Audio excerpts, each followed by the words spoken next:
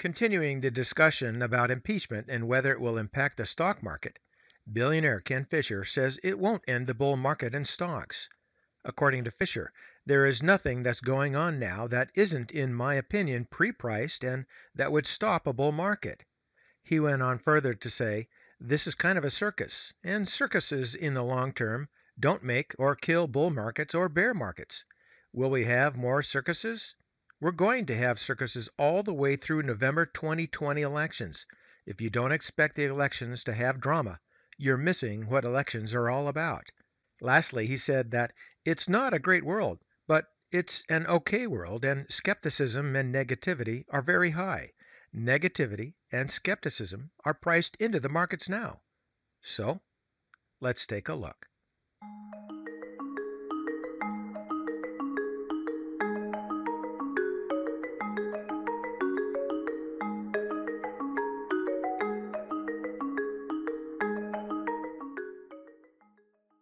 Today we're going to look at one chart, but we're going to mix things up a little bit.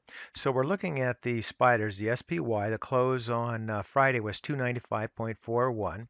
And to mix things up, this is the two-year chart, and rather look at it on a weekly basis, we'll look at it on a daily basis. And that being, it's always a good idea to mix things up, to look at the charts with uh, different perspectives. So that's what we're going to do today. And then at the end, I'll have a few comments with regard to the, the impeachment, some follow-up comments. So looking here at the price chart, we can see that the current downtrend I think the highest probability is for that to continue. But going back to the previous downtrend, say there in the August timeframe, you can see that we hit uh, bottom near the level of that 200 EMA.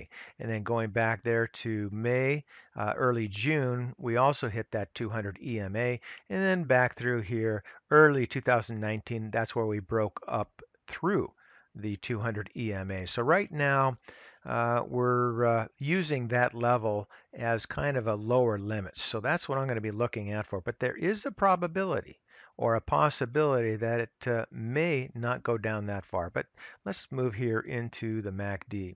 And I've already drawn some lines here. And basically what we're looking at is this downtrend of the tops of the MAC heading this way. Now the two previous bottoms were here and here.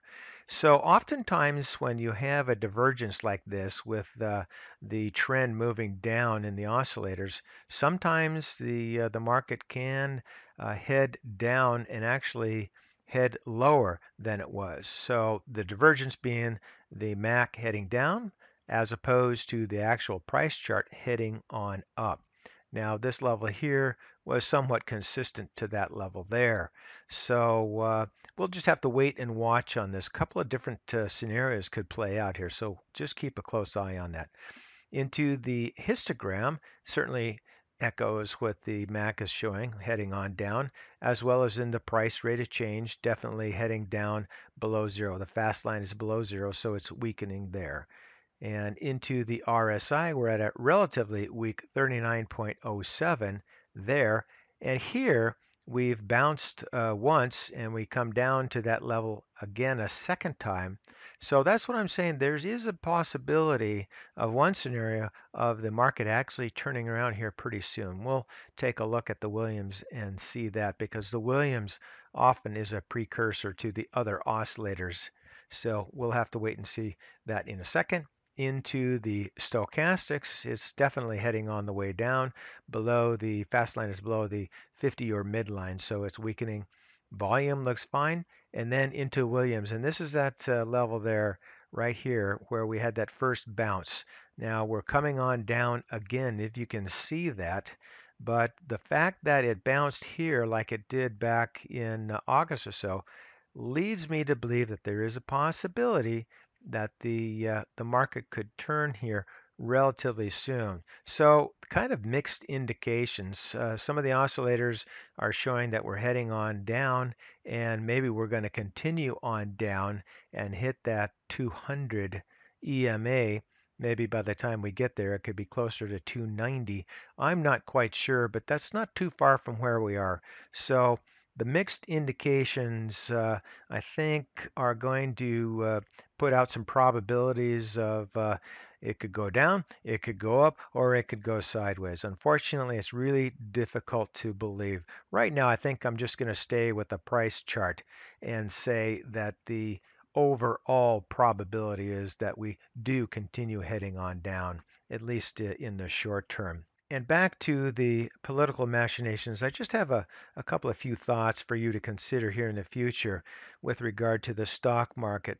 And that is that with the signs of the economy slowing, the market might not be as resilient now as it, uh, say, was when the Mueller report came out.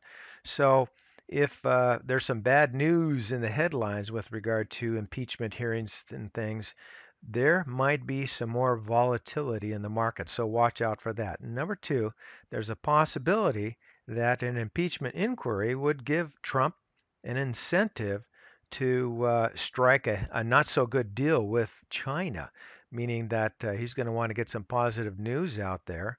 And that might be positive, say, in the short term, but uh, not necessarily in the longer term. So we'll have to keep our eye out for that. Then, number three, there's a scenario under which the impeachment inquiry might turn out to be a positive for the stock market, and that's if the public views the impeachment as mostly a politically motivated event. And if so, it may increase the probability of a Trump reelection. And right now, I'm thinking that Trump versus some of the Democrats, that uh, at least the stock market might vote uh, for Trump. And so, on the other hand, though, if the public views that Trump did something wrong and the momentum swings toward the Democrats, such as Elizabeth Warren or Bernie Sanders, that in my mind would perhaps be a negative for the stock market, given how both Warren and Sanders are uh, are anti-corporation right now. At least a lot of the comments that they've been making uh, stumping for their political future. So keep all of that in mind. Basically, what it means to me is that the future is going to be less certain. We've got more factors to consider and perhaps more volatility. So stay tuned to this channel and we'll continue to follow the stock market path. And so forth today, that's ChewDog Charts. Thank you.